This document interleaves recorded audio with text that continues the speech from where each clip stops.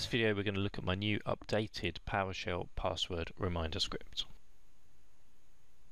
So if we dive straight into the changes, uh, I've got two PowerShell windows open here. One on the left is with the new script and one on the right is with the existing script. So I'm just going to kick this one off. So I'm just speeding up the running of that script for the purposes of the video. I did add some code into the script so we can see how fast the script runs uh, and you can see there it's just taken over a minute. So if we switch over to the new script, the first thing you'll see is we've switched to using parameters rather than statically assigned variables inside the script. Um, we've done that for a number of reasons which will become clear a bit later on.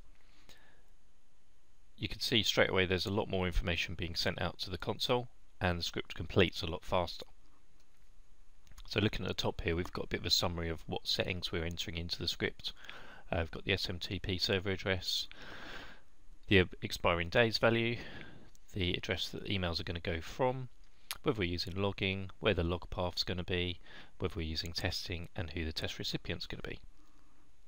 Moving down, we've got uh, a summary of the users that we've found, which is good to make sure you've actually found the right users in Active Directory. Then we've got a default domain password age of 30 days. Then we move on to say that we're processing the users, how many users we've processed, and how many users we're going to notify. We're going to create a log file, a summary of where the log file is going to be, and then below that we have uh, all 10 users that were notified and their various details. The last big change to talk about is in regards to logging. Now with the switch to using parameters, um, I added one called status. Now what this is going to do is tell you uh, that it's sending an email to George here and that this is the address it's going to send it to.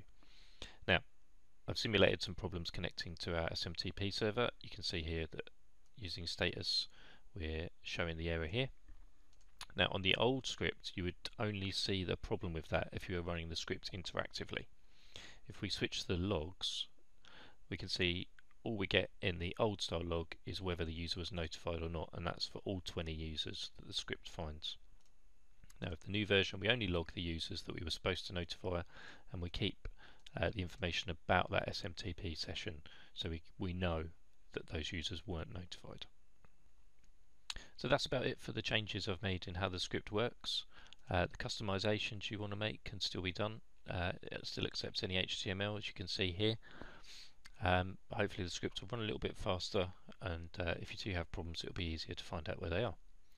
I'd just like to say thanks to anybody who downloaded the original version. It's been downloaded over 45,000 times uh, and there's been over 230 questions and answers hopefully on uh, the TechNet forum so thanks very much.